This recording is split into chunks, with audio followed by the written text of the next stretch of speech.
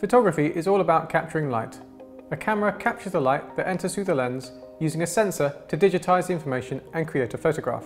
Digital SLR cameras have a whole range of features, lenses and accessories to change and optimize the light that goes into the camera. This video will look at how shutter speeds can alter the amount of light that enters the lens. The vast array of dials and settings you get on a good camera can be quite daunting at first. In fact, most people start on the green square setting that gives almost full automatic function to the camera. However, to get the best out of a camera and be truly creative, it's best to take some time and understand how to use some of the manual functions. This will greatly affect the outcome of a photo to suit whatever your creative needs. To switch your camera to manual mode, simply turn the dial to M. The speed at which you set the shutter not only affects the amount of light that goes into the camera, but can also be used to make some exciting and cool effects. So, what happens when you change the shutter speed?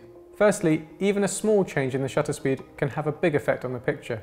The faster the shutter speed, the less light is captured, making the image appear slightly darker. The slower the shutter speed, the more light goes in, making it lighter.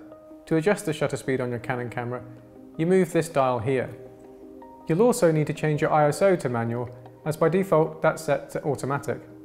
If you need help on this, check out our other video on ISO. In normal daylight, approximately 1 over 125, which denotes 125th of a second, is a good starting point to getting the right balance. If the image is too bright, you will need to make the shutter speed slightly faster.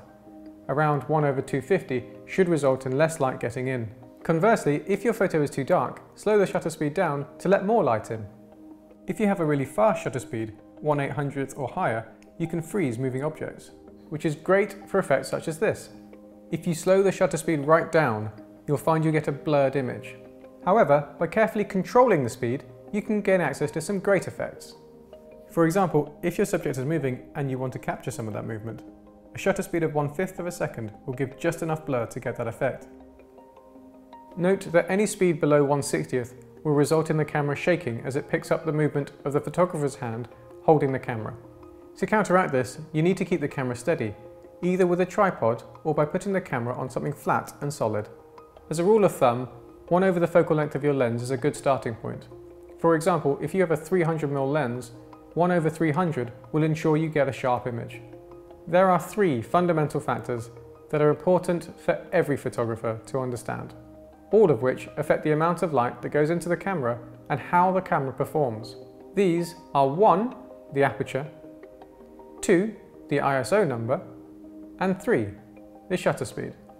They all work in tandem with each other and are therefore often referred to as the exposure triangle. To make experimenting with shutter speed easier, shutter priority mode will give you the creative freedom with shutter speed, whilst the camera helps you automatically with other settings, such as aperture and ISO. Simply turn the dial to TV. We recommend you take a look at our separate videos available for aperture and ISO that go into more detail.